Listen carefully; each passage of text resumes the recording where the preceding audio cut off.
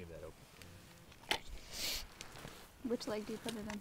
The second right walking leg. And then clip this guy right here so that when you catch it again you can see if it's molted or not. Cool.